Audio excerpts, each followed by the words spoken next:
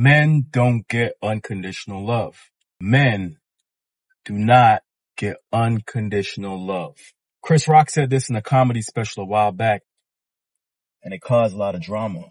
But what he said was factual. Men have two jobs to provide and to protect. Mm. And there's more expectations on the providing part. The stats are clear. Women initiate 80% of divorces. The number one reason for divorce is infidelity. They're cheating on the partner. The male is cheating.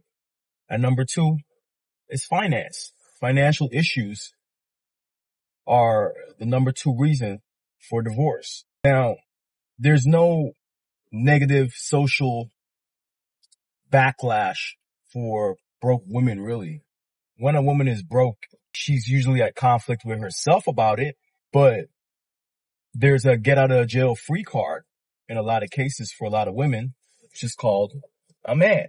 I don't get it twisted. I'm not saying women can't provide for themselves because I know y'all are quick to get emotional and dumb. But when a man doesn't provide adequately, a couple things happen. One, the woman doesn't respect him. I've seen several people in relationships where the woman makes significantly more than the man. And usually when this happens, the woman takes it as a license to be the man in a relationship. She wants to dictate everything because she's bringing in more income than her partner. And this usually puts the man in a tough predicament unless he's willing to play that role. And some guys are willing to play that role.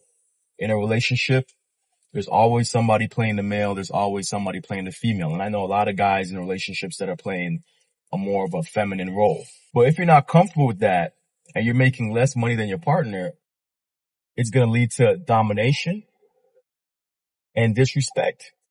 You know, I was talking to somebody I know and his wife was making significantly more than him and he works from home and she came home and screamed at him and asked him why the dishes weren't done.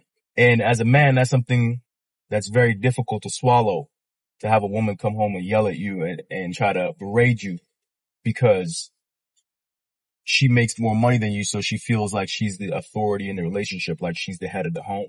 So when you can't provide or when you don't provide or you can't provide at an adequate level, there's a loss of respect. And as men, women expect us to provide them a certain level of lifestyle. And if this is not met for an extended period of time, it causes problems. It causes conflict.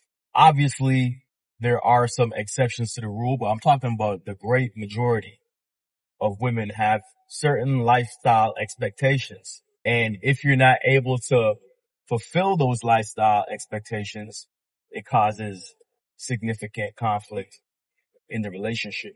So as men, we're under constant pressure to provide and lead the family financially. And if you don't do this, a lot of times what ends up happening is disrespect or the relationship ends because of your inability to provide properly. And this is a reality that a lot of men have to learn to accept. It's your job to be determined enough and creative enough to increase your income consistently to satisfy the needs of your family and your spouse. And a lot of guys nowadays, they'll complain about this not being fair, but being a man is not supposed to be easy. Whenever life gets too easy for men, it leads into destructive behavior, overeating, getting into drugs and alcohol. Whenever there's no fulfillment, whenever there's no working towards accomplishing a goal, men will naturally revert into negative states that are self-destructive. The fact that we are required to provide and protect is a good thing. It's not a bad thing, but a lot of guys just don't understand this to be reality and they try to fight against it. And currently, as the world is, there's more single men than any other time. Men are staying virgins for longer. They're not getting partners. And this is because in the workforce, a lot of women are outworking men. a lot of women are earning more than men and they don't want to get in long-term relationships with somebody that's in a lower social status than them. A lot of times these women will stay single and the guys in turn don't have any partners. And what ends up happening is the men at the upper end of the financial echelon, these guys get all the women, right? You make a lot of money, then you usually have multiple women, right? And some women are willing to accept that over accepting a man that does not know how to provide adequately. Now, the other thing that we're supposed to be doing is protecting. Physically, most men nowadays are not able to protect anything. If you just walk around and you look at men at a grocery store or whatnot or a mall, wherever you go and there's a large amount of men, you will see that 98 out of every 100 men do not look like they are able to get into a physical confrontation and do well in it.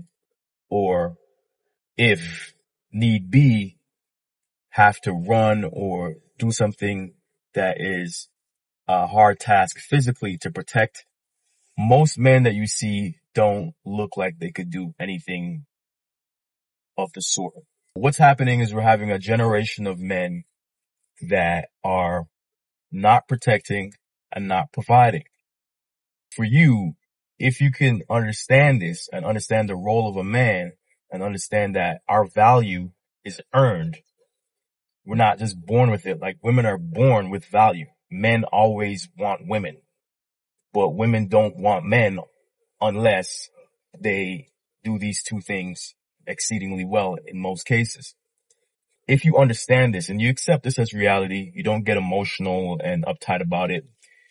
What you could do now is understand that your life purpose is to improve in these areas. So you need to get physically stronger. You need to get creative and find more ways and better ways to make money so that you are more valuable to women and in turn you get your pick of the litter. But it's a hard truth that a lot of men don't accept nowadays that you either protect or you provide or you have no value in the marketplace.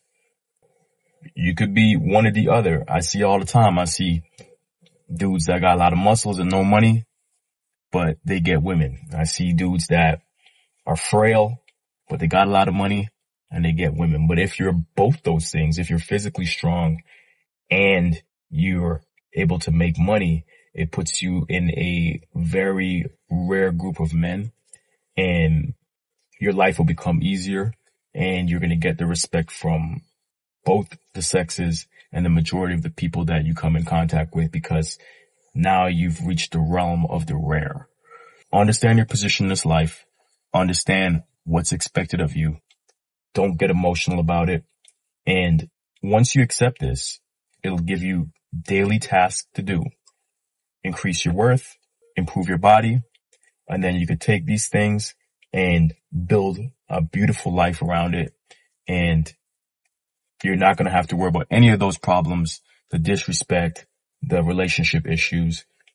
Obviously, you know, things happen in other areas, but you won't have to worry about it because of your inadequacy.